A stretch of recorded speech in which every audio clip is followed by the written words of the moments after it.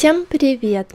В этом видео я отвечу на один из самых часто задаваемых вопросов на моем канале о том, как же я рисую на правой руке. Это видео не обучающее, но я расскажу в нем свои маленькие хитрости. Я, как и многие другие, с самого детства пишу одной рукой. На кухне или еще в какой-либо работе я привыкла делать основную работу правой рукой.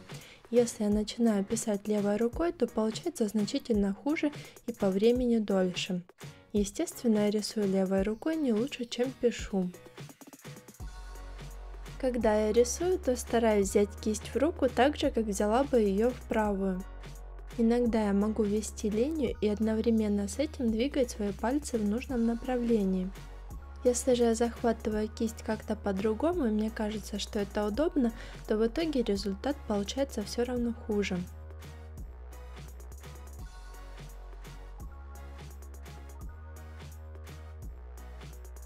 Я стараюсь выбирать такие дизайны, чтобы на правой руке можно было его не делать или сделать упрощенным, как например в этом на левой руке нарисованы часики, а на правой нет.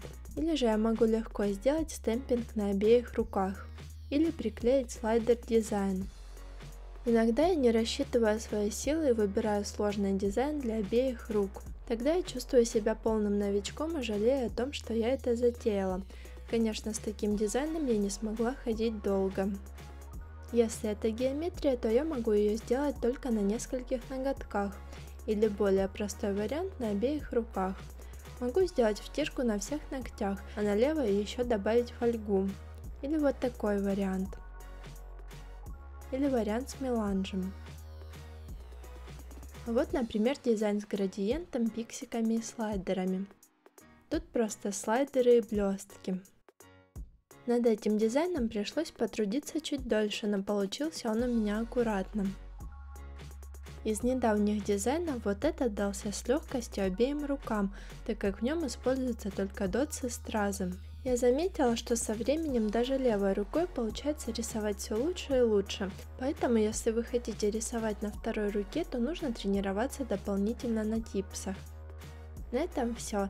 Ставьте лайки и подписывайтесь на мой канал. С вами была Настя. До новых встреч!